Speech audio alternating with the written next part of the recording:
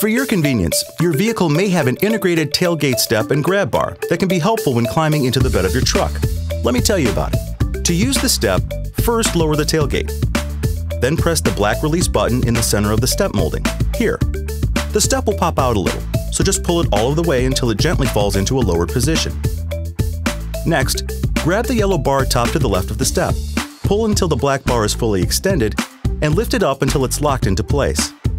Then pull the chrome interior bar all of the way up. You'll know the bar is fully extended when you hear a click. The bar can be used as a grab handle to help pull yourself up into the truck bed.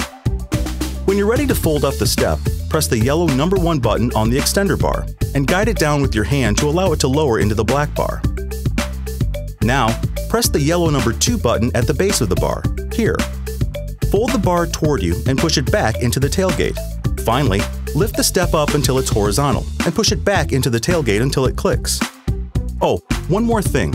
Unlike previous models, the tailgate handle is stored within the tailgate itself, so it's flush to the surface and nothing is sticking out. Any questions?